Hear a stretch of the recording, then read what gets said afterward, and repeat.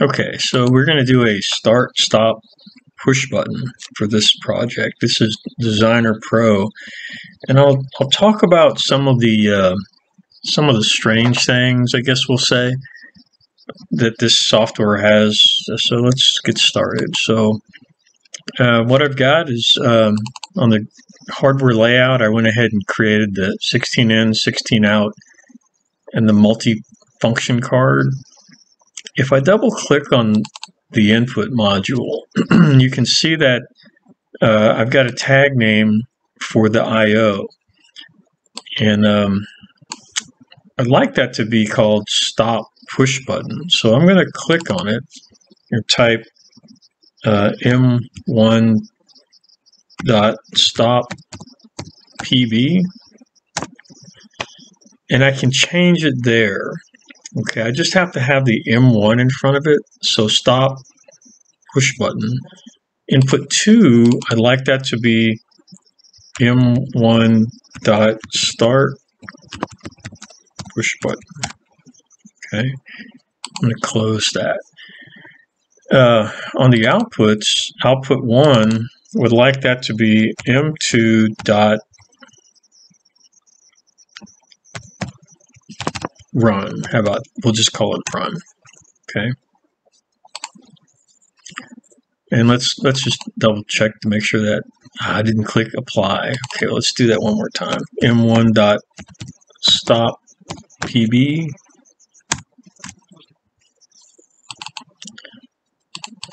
And M1 dot start PB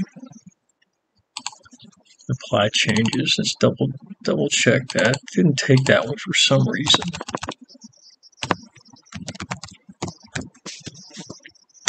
Enter apply changes. Let's double check. Yep. Outputs. Yep. Okay. So I can change the names of the hardware I.O. points at the card level. Okay, so what that does is when I come back over here and I want to type the word stop PB, uh, that won't work. I have to use M1 dot stop PB. Okay. Um, so let's go back. I want to show you one other thing. So let's go back to the input module. Let's say input 3. I want that to be a a limit switch, LS1, enter, error. So I can't just name it like the name of the switch. I have to put the M1 in front of it. So it's got it's got that little issue. So as long as I'm okay with that, and as long as I'm aware of that, it's okay. So let's let's just go with that. There is another way to do it though. So if you really don't want to see the M1 in front of it, what you can do is this. Let me delete this contact for a second, and I'll show you a kind of a kind of a technique. It's not a trick, but it's a technique. So what you can do is use an open contact, and you can refer to m1 dot input underscore one if we hadn't changed the name that's what it would be and then I can set up an output coil and I can call that output coil stop push button. Okay, so when this input turns on, this output known as stop push button, this coil will turn on, and then I can use a contact from that coil in the program as stop PB. So if you're determined not to have that M1 in front of it, you can do it. However, it's it may not really be worth all that extra effort because now you're adding more and more stuff in your program. So I just wanted to show you that so that if you're really determined not to have the M1 or M2 in front of it, you you can get rid of it, but it's just extra work. Okay. So let's get back to the start stop. I'm going to go M1 dot stop enter I'm going to do a m1 dot start pb enter. I'm going to do an output, and this was called run, I believe. and I need a branch around my start push button. So I'm gonna I'm gonna click on that and I'm just gonna draw here for a second. Okay, and then I'm gonna pull over a contact, hit escape. Okay, and go back to the drawing tool and sketch that in. Okay, and this is also known as run. Okay, so there's my stop start run, my seal-in circuit. Uh, let's let's write that to the virtual controller.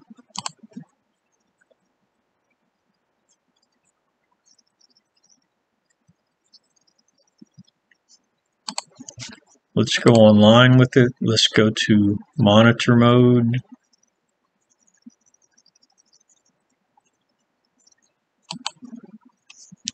let's turn on the stop push button. Then I'm going to toggle the start push button. And of course you see the seal-in is, is still on, right? So if I wanted to bring an auxiliary contact off of a run starter, I would use the auxiliary input instead of the run contact because this is all just logic. So if, you know, if this was a real starter and it did not pull in, then I would need to know that, and that's where I would use the actual auxiliary contact right here. Okay. Uh, to do that, I would probably come down to input three. Input three is the uh, would be the aux input. Um, I was trying to show like split screens, like floating screens, but I don't think I can do that here. So uh, let's let's uh, right click turn off the stop push button. Let's turn it back on. Let's toggle it. Let's go back and see what's going on here. Oh, I didn't bring run to the output. Okay, well, um, let's do that. Uh, let's um, let's go back to edit mode.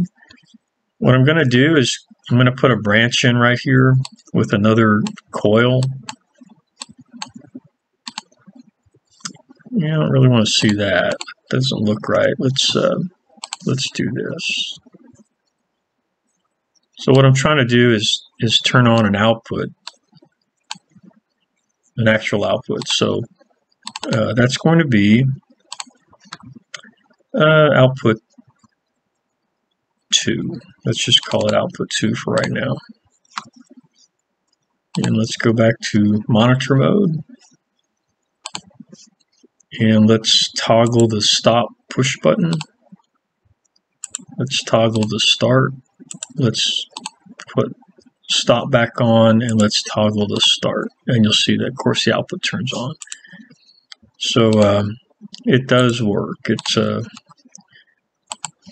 it's easier to run it from this screen because you know it's kind of tedious going back and forth and clicking all these things, but uh, you can get a little visual there if you'd like to see that.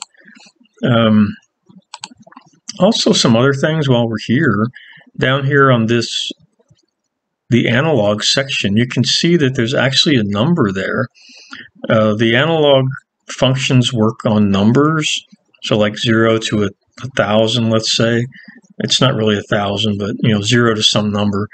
And um, basically, if you uh, punch in a number here, it'll generate a current on the output connection. So uh, you can also watch the the numbers. You know, like uh,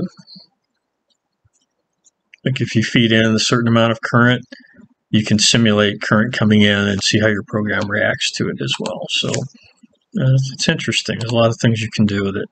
Um, if you if you wanted more space here, I didn't really mention this earlier, but you can go to edit mode and insert a row, like let's say five rows. And um, kind of broke my logic there. So if you if you want, you can pack a lot of stuff in a rung if you just want to. The only time you would do that is like if you had several several outputs that sort of work together, you can keep them all in the same rung uh, or you can just create a new rung for each one. So it's kind of flexible like that. Like this is a little crowded here. Maybe I want to bring that down just a little bit. make it look a little bit better.